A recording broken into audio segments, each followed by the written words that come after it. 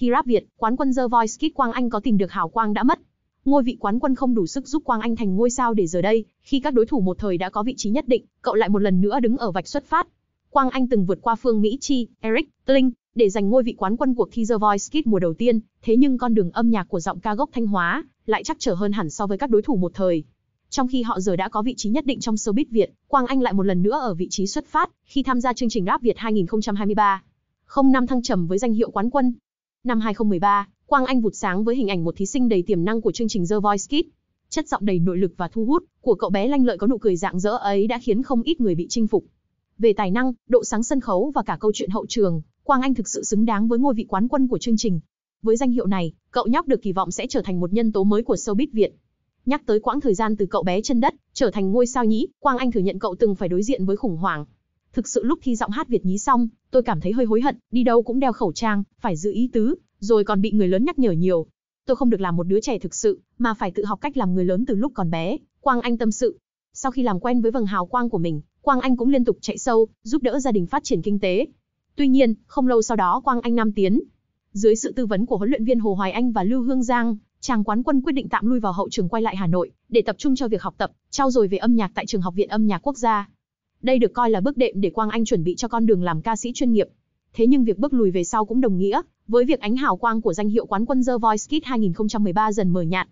Nam ca sĩ thẳng thắn khẳng định anh không tiếc nuối khi bước lùi lại một nhịp, ở thời điểm đó, ai cũng sẽ bị chìm ở trên mạng xã hội nếu như không xuất hiện thường xuyên và không có nền tảng chắc chắn. Tôi rất sợ mình là một nghệ sĩ chỉ biết hát và không có kiến thức về âm nhạc. Ít ra khi làm nghệ thuật chúng ta nên biết không nhiều thì ít, cũng phải hiểu biết được về cơ bản. Tôi muốn xây dựng nền tảng chắc chắn trước, có như thế thì sau mới bền được. Sau một thời gian củng cố nền tảng kiến thức âm nhạc, Quang Anh tái xuất vào năm 2018. Lúc này nam ca sĩ sở hữu diện mạo khá khác lạ cùng phong cách thời trang chất chơi, hơn hẳn.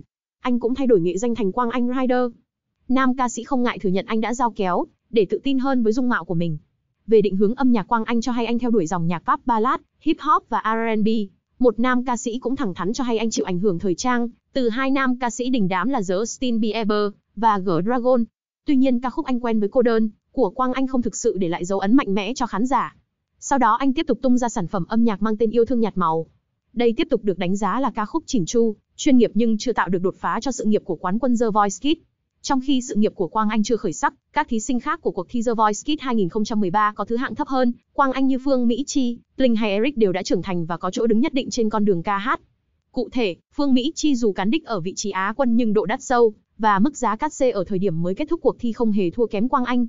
Thậm chí nam ca sĩ từng nhiều lần bị đem ra so sánh với Phương Mỹ Chi, và bị nhận xét là thua kém Á quân về độ phủ sóng.